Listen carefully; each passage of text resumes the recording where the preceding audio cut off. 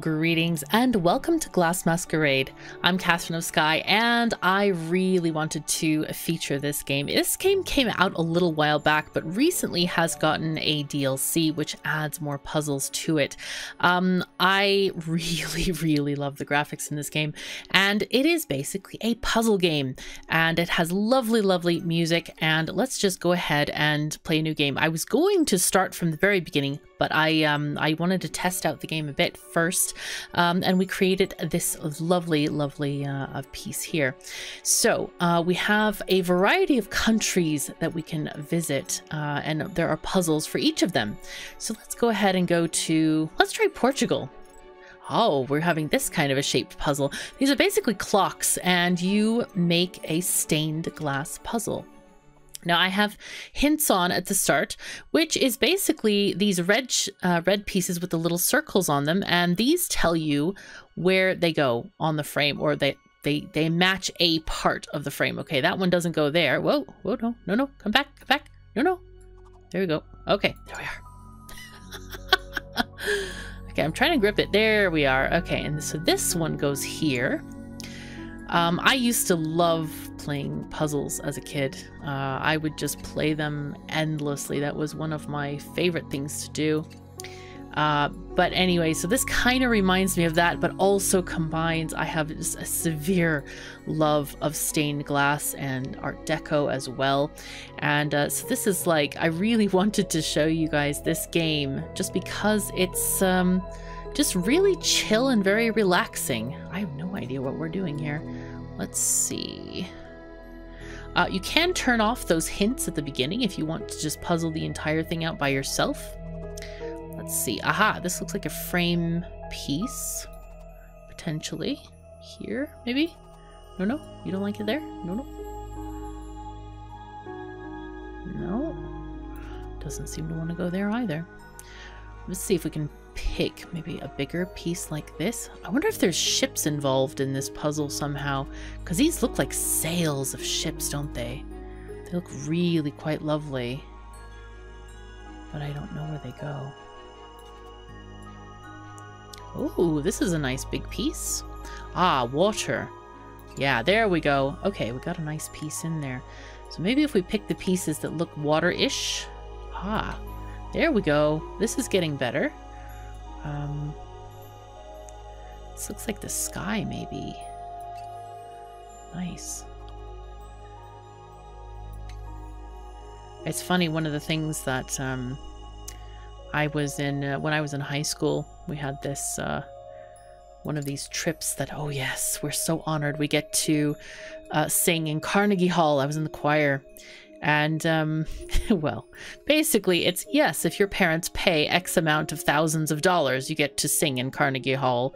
Uh, it's kind of a crock, but anyway, it was still cool to be able to do that.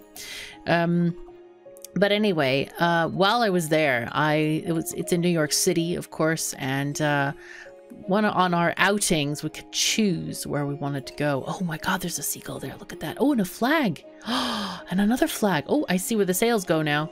Um, anyway. No, no, that doesn't quite fit there, does it? No, no, I need those bigger sails. Anyway, what I did, I went to the Metropolitan Museum of Art, and one of the coolest things to see was the stained glass exhibit because it was just, I don't know, it was just really awesome. And they had stained glass from different places, and I really, really loved seeing it It was just really nice. Maybe here. No. You... Aha! You go there. Excellent! We found one of them. Not quite sure about the arrangements of the sails here. But maybe we can... Well, this is a... There we go. That one goes there. Is this one there? Yeah, there we go.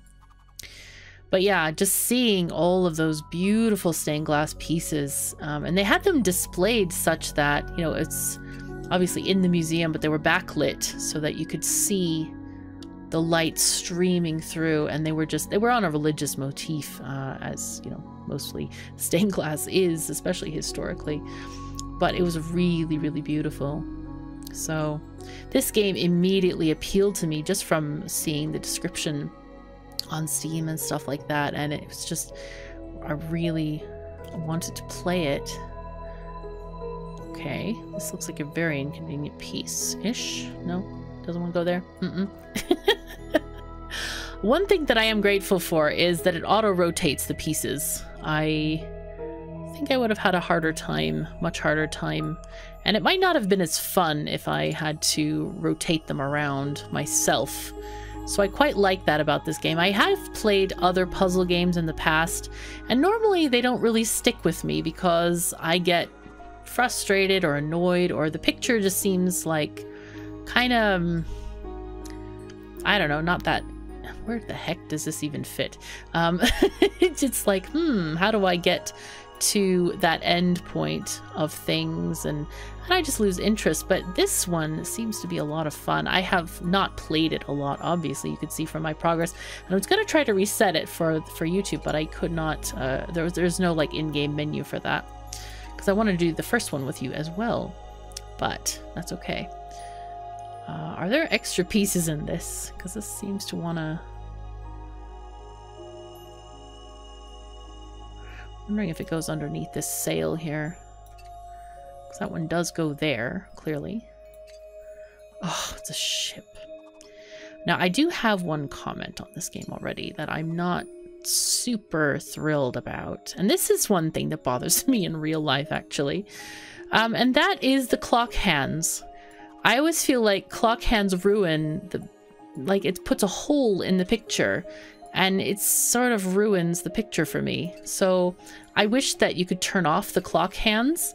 Um, I get that it's meant to be a timepiece thing, but I kind of wish that you could take them off. Maybe there would be like a button or a setting option for that, because I'm not that fond of like like this one too. Can we look at this one, Franz? Hello. Thank you. Yeah, yeah. Right. Ah, there we go. See, this is an, an, another gorgeous stained glass piece but the hands are in the way. It's like, go away, hands, shoo. Um, all right, let's go for Italy. Why not? No, you know what? We'll go for Germany. We have a lot of, I have a lot of uh, Factorio fans in Germany, so I don't know if you guys are watching, but I hope so. So I'm not sure if the, the hands are there for theming purposes or for motion. Um, but I just don't really... I mean, I have a clock in my room, but uh, it's not that thrilling for me. Is this a nice... Uh... Yeah, there we go. I'm trying to find ones... Oopsies. Give me that... Nope, bed here. No, that, not that one. Well, this one might work as well. Um... But clocks don't really necessarily appeal to me in that kind of a way. Like, not all the time. They're fine for, for some things, but... Oh my god, do we have a horse? A knight on a horse? Looks really nice. But in any case, I, I think that this is just, just absolutely beautiful game. And it's so relaxing. The music is very nice. Uh, right, we're not, that does not go there. Okay, that also. I'm trying to look for ones that might be attached to the edge. Come on, can I have this? There we go. Mm -mm, not quite, not quite. Oh, there we have a, looks like a leg. Is that the knight's leg? Could be. Could very well be. This also slightly re reminds me of my favorite puzzles to do when I was a kid. They were all physical puzzles uh, obviously. But um, I was I liked the art of Charles Wysocki uh, or Wysocki in Polish, and um, uh, his paintings of Americana because with every piece that you had, you could see like it was like a half a person that the people were so tiny and there were like villages and things like that and so I, it always created a sense of wonderment in me to be able to you know find oh yeah look at this lady. She has this really pretty pink dress on. I could see at the top of her her dress. Um, but what does the bottom look like? Uh, or you know is she wearing a long skirt or what is she wearing? That kind of thing. Most of them are you know very quite old old-fashioned um, uh, art, or not art, old-fashioned um, scenery. All right, I know there, there some of these pieces fit in here somewhere. Like, where the heck do they fit? Um, this one doesn't seem to fit anywhere, however.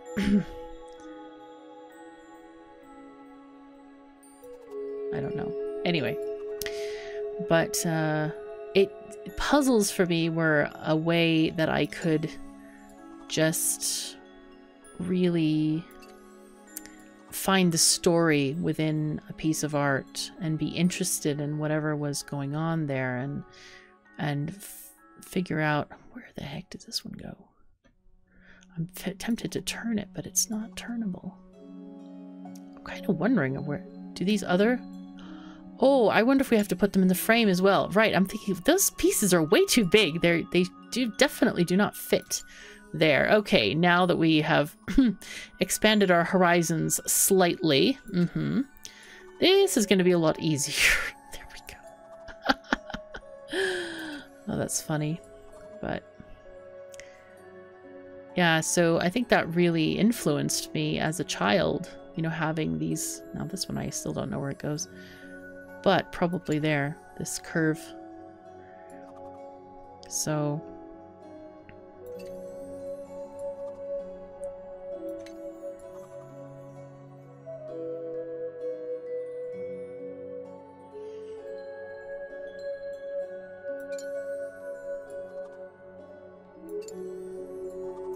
Yeah, that made things a lot easier once I figured there's other bits that these places can go. But yeah, there we are. Yeah, I have a great interest in old types of uh, artwork and things, uh, like um, illuminated manuscripts and such. I always like those as well. Alright, what have we got here? We've got a knight on a charger charging past the sun here. The crown. I wonder if those are graves or they're just feathers or some kind of a decoration there. It's like a town here as well. Sort of mountain stylized. Wow. Very beautiful. I like that. All right, where shall we uh, be off to? Sweden or Britain? Italy? Let's go off to Britain first and then we'll go north uh, through Sweden. All right, let's go.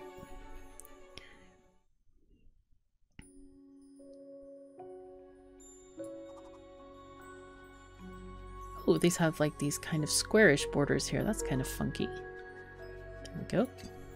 Square with a few round sides. Oh, a lantern. How pretty. I like that.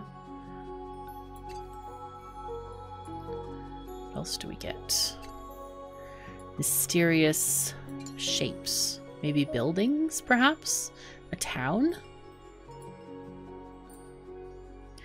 And it's uh, fun how you know, obviously the, the pieces are shaped for specifically for stained glass uh, or uh, outlining the pieces that they represent. Oh, there's another lamp here.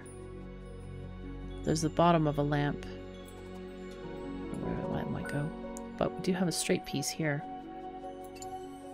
Nice. So it makes the puzzle kind of not as random it's actually following the shapes of what is in the puzzle.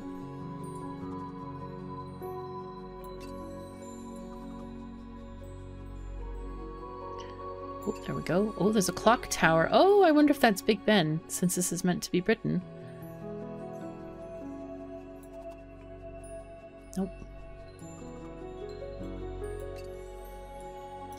Sometimes it's difficult to tell, though, with these puzzles the shapes being like oversized slightly. At least they feel oversized. Does this go here? Yeah, like right there. It is actually quite a bit oversized. Um, hmm. That doesn't quite fit there. This goes here though. Nice.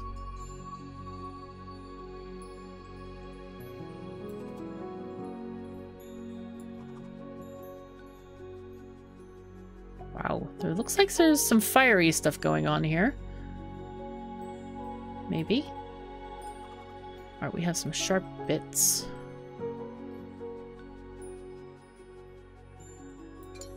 There we go. Ooh, there's a man here. Hello.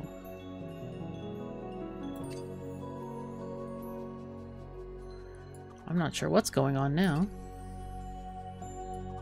Looks like there's a lot of intensity, however.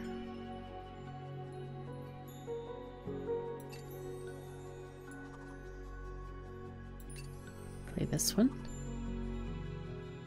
Get this thing going. Oh no, no, no. Let's put this one. No, clearly does not go there, no matter how much I want it to. So I find that a little bit confusing since they're a bit oversized. But hopefully we can still manage this. Oh, clearly goes there. Hmm. There it goes.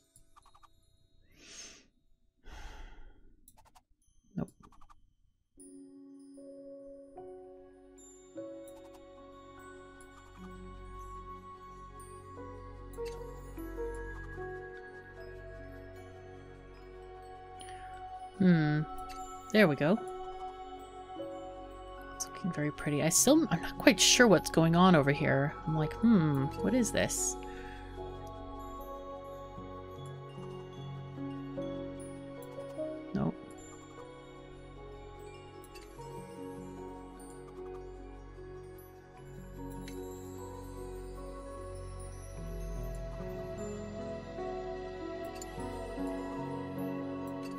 Many things happening here. Oh! He's got like a, a major lamp here. I thought it was going to be a cross initially. Like, hmm.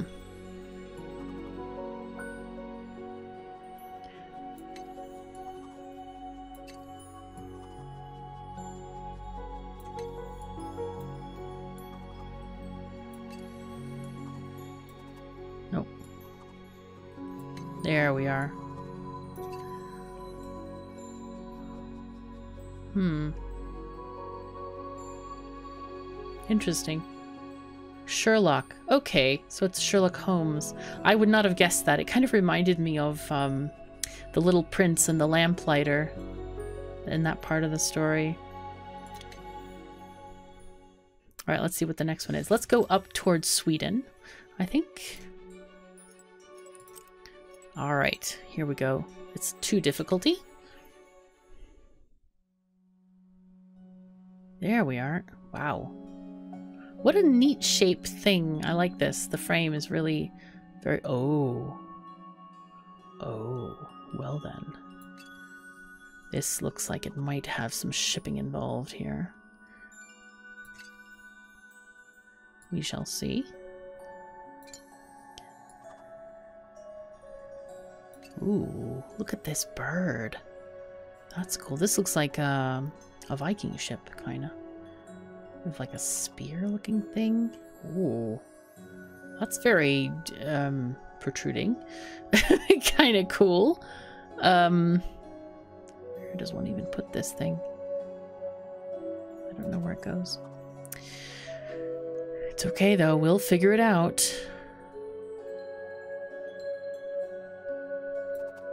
Quite sure where to put some of these things. Not quite sure where to put anything, to be honest, at the moment. But it will be okay. Oh, here's another bird. Can this fit there? Okay, so we have like a frame of birds. We have an interesting thingy-majing over here. I don't even know what's going on up here, too.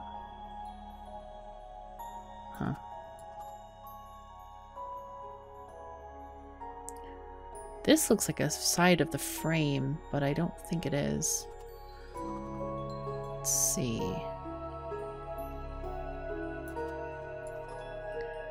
We'll try all the pieces until we find some that fit. Okay, that looks like it fits. Okay, there's another one. We're on a bit of a roll here. Excellent. As long as we don't run out of pieces on that particular side. Okay, there we are. Part of the frame? Part of the decorativeness? Hmm.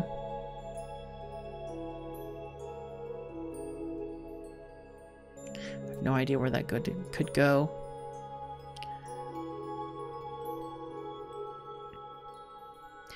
And this, I don't even see any colors that it would go with. Like, for symmetry purposes. No idea. Uh, let's try some on this side, then. I don't think we've we've had our fair share of goes at this particular side. Eh? Or maybe we have. Let's try this. Ah, there we go. A border piece. That's always nice. This goes there. Ah, I thought it was like going to be a dragon's tail or something sticking out from there. Oh, there we go. Ship's sails. Very keen on ships. Very keen indeed. Okay, there we go. Now we're getting this going with the, the wings here of the bird. And this thingamajig. Uh, and this definitely goes maybe here. No, not there. Really? Here, here-ish. No. But maybe it goes there. Okay, looking good.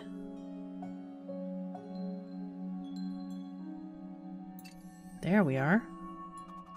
And suddenly the whole thing becomes much easier.